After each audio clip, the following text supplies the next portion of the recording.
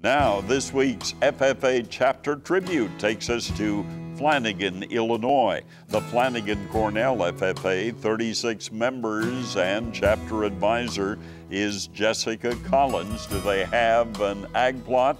Well, they do. It's a half acre in size, but they annually do a corn test plot with the cooperation of farmers and seed dealers and the annual FFA alumni auction, where they work with alumni members as their biggest fundraiser, their favorite community service project, passing out lunches to farmers during harvest.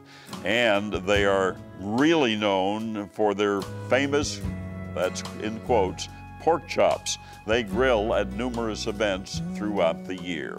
The Flanagan Cornell FFA, Flanagan, Illinois.